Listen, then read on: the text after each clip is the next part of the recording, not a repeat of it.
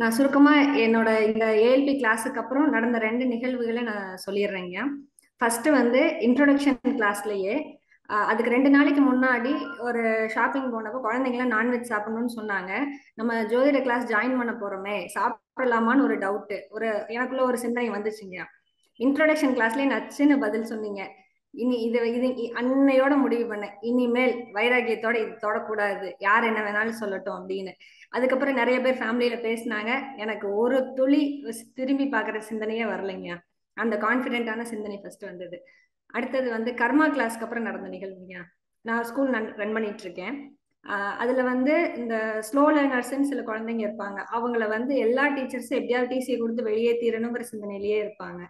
அது எனக்கு எப்பவுமே என் மனசுக்கு ஒத்தே வராது. அவங்க ஏன் ஸ்லோவா இருக்காங்க அதை சரி பண்ணணும்னு நினைப்பேன். ஆனா அதுக்கான ஒத்துழைப்பு எனக்கு எல்லா டீச்சர்ஸ்ட்டு இருந்து கிடைக்காதுங்க. அதே மாதிரி அட்மிஷன் அப்பயும் அந்த ஸ்டூடெண்ட்ஸை நான் எடுத்துருவேன். ஆனா எல்லாரும் என்ன நினைப்பாங்கன்னா நான் ஃபீஸுக்காக வந்து அந்த குழந்தைங்களை எடுத்து அவங்கள டார்ச்சர் பண்றேன்னு நினைப்பாங்க. ஆனா அவங்களோட பிரச்சனை என்னன்னா வாசிப்பு இல்லாதது தான் அவங்களுக்கு வந்து பிரச்சனையாவே அங்க இருக்கும். ஏன்னா அவங்களுக்கு ரீடிங் இருக்காது படிக்க முடியாது ஸ்லோல இருப்பாங்க வீக் ஸ்டூடெண்ட்னு ஒதுக்குவாங்க. இதுதான் எல்லா ஸ்கூல்லயும் நடந்திருக்கும். இப்ப இந்த கிளாஸுக்கு அப்புறம் நான் என்ன யோசிக்க ஆரம்பிச்சேன்னா அந்த குழந்தைங்களுக்கு இந்த டீச்சர் செய்யலைன்னு நம்ம நினைக்கிறத விட அதை செய்யக்கூடிய டீச்சரை போடுவோம் அப்படின்னு சொல்லிட்டு ஒரு டீச்சரை அப்பாயிண்ட் பண்ணேன். அந்த டீச்சர் வந்து ஒரு பத்து நாள்ல நான் சொல்லி கொடுத்த முறைகளை ஃபாலோ பண்ணி வாசிக்க வச்சுட்டாங்க. ஒரு அஞ்சாவது படிச்ச குழந்தை வந்து பே கூப்பிட்டு பேசினா கூட பத்து கேள்வி கேட்டா கூட ஊன் தலையாட்டுறதுக்கே யோசிக்கிற குழந்தை. இப்ப கேட்கிற அவன் வாசிக்க ஆரம்பிச்ச உடனே அவனுக்கு ஒரு கான்பிடென்ட் வந்து கேட்ட கேள்விக்கு மகம் பதில் டக்கு டக்குன்னு அவன் வாயிலிருந்து வருது. பேச ஆரம்பிக்கிறான் முதல்ல.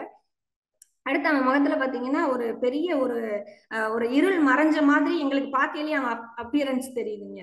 அப்ப எனக்கு என்னன்னா இந்த கர்மா கிளாஸ் என்ன கத்து கொடுத்துச்சு அப்படின்னா நம்ம போற பாதை கரெக்டு யாருக்காகவும் நம்ம பின்வாங்க வேண்டியது இல்லை இதுல நம்ம தெளிவா அதை எப்படி நிவர்த்தி செய்யணுங்கிறத நோக்கி போய்கிட்டே இருப்போங்கிற ஒரு பாசிட்டிவான கான்பிடென்ட் இந்த கிளாஸ் மூலமா எனக்கு கிடைச்சிருக்கீங்க.